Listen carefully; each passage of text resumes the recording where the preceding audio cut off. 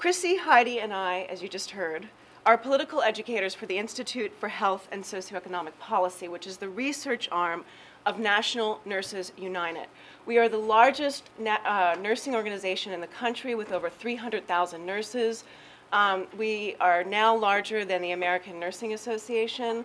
And basically, we broke off from the American Nursing Association and we represent the interest of bedside nurses, whereas the American Nursing Association represents the interest of management.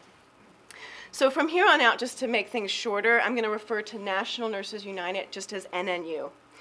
Our organization builds its politics on the belief that nursing, much like teaching, is a highly personalized labor of care driven by human need rather than by profit and involving work that in many cases requires intensive physical labor, direct person to person communication, and spatial proximity.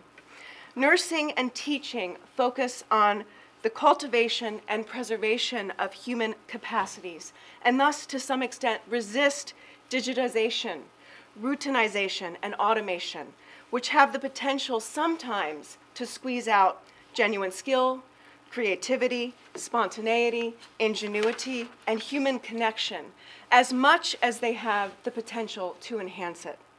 And there I was preparing for an online course that interrogates the dehumanizing tendencies of technological pro progress for nursing and teaching.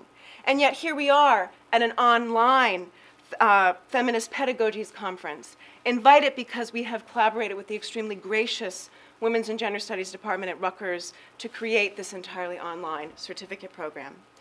But is this master's tools dismantling the master's box tension not foundational to feminist field formation, pedagogically, methodologically, and epistemologically? In our case, the master's tools are technologies somewhat complicit in the corporatization of the university? Technologies partly responsible for a decrease in university professors?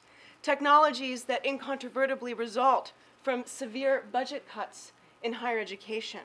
In this conception, the online classroom can serve as a band aid for the gaping wound to which neoliberal capitalism has subjected all levels of public education.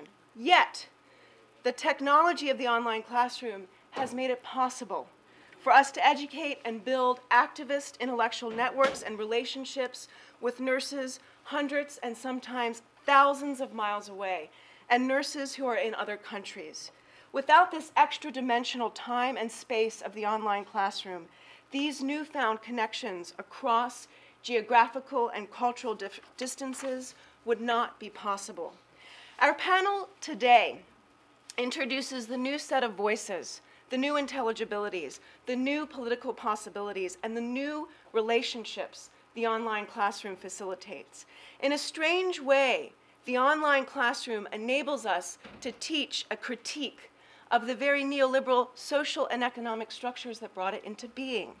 Our goal here today is, in part, to discuss how we can best wrest the online classroom from these neoliberal forces and use it for the intricate and historically specific task of 21st century feminist movement building.